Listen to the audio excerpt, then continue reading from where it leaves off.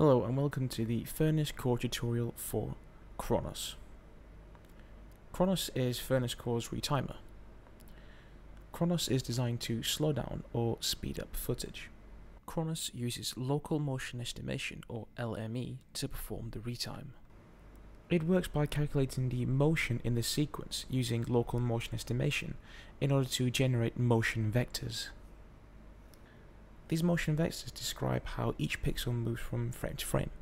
With accurate motion vectors, it is possible to generate an output image at any point in the timeline throughout the sequence by interpolating along the direction of the motion. This allows Kronos to generate new frames in between the original frames of 0 and 1. The new frames are created at quarter and 3 quarters in the timeline, instead of 0, an original frame, and 0.5 so as not to include any original frames in the retime sequence.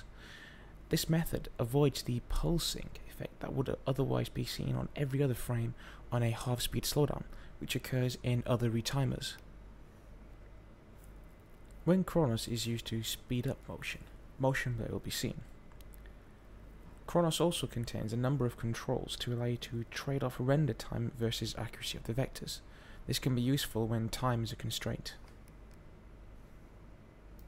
For more information on LME, please refer back to the Furnace Core introductory video. Before you start the tutorial, you should have downloaded the relevant scripts and image sequences from the Foundry website. Once you have done this, please open the Start Here script and we can begin.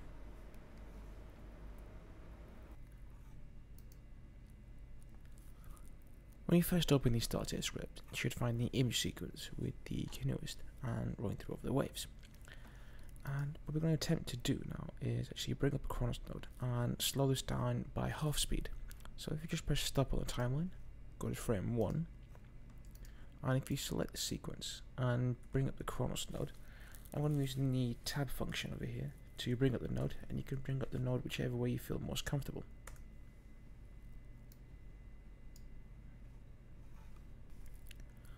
Now we brought the node up, we should move in just a little bit closer to the viewer so we can see the inputs that it has and see exactly what they do. Now when you actually load up the Kronos node, you will see it has five actual inputs. The first input that we have is the source input. Now you have to make sure this is connected to the image sequence we wish to retime. We also have the matte input. Now we use this to separate between the foreground and the background. Now this can improve the motion estimation by reducing the dragging of the pixels that can occur between the foreground and the background objects. On the other side of the node we also have the background vectors and the foreground vectors which are hiding in the corner.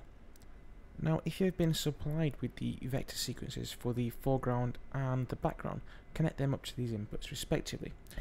Now this will save time processing as Kronos will not have to perform the motion estimation during the rendering process. Now if you have no pre-calculated vectors you can ignore these vector inputs and let Kronos generate the motion vectors on its own on the fly.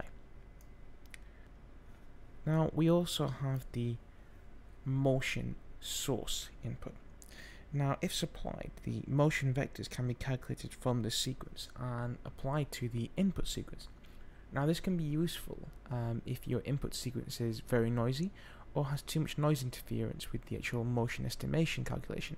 in this case you should supply a smooth version of the sequence here for this input which can actually help you with your renders and get good results. So now we've seen what the actual inputs do on the actual node itself, let's have a look at the actual parameters of the node in the properties bin. Now, if we look at the actual properties bin, we can see we have a variety of parameters to control. The first one in this is the method.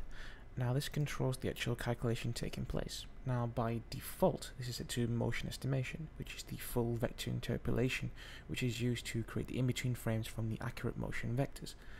Now, you can use this, which is very time consuming and the actual full calculation taking place. Or you can use the frame blending method, now this is a mix between the actual two frames to create an in-between frame. Now this is quick to render and useful when tweaking the actual timing of your retime for the actual sequence before you go for the full method calculation for motion estimation. By default let's just leave this to motion estimation. We also have the timing. Now this is set to speed by default, but you can choose to retime this section by actual frames. But for this tutorial we're going to be using the speed setting to retime the actual sequence.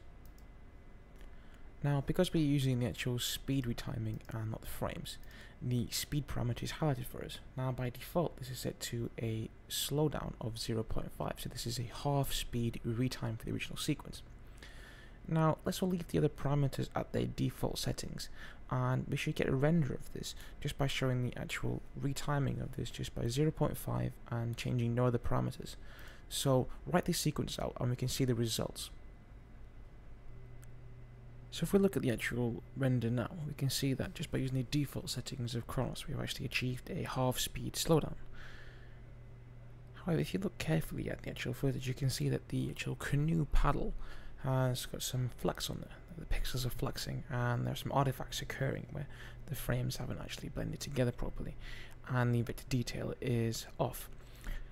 Way to fix this is that we have to actually apply a matte to the sequence and so we can differentiate between the actual foreground and the background. So in this case the foreground will be the paddle and the background will be everything else.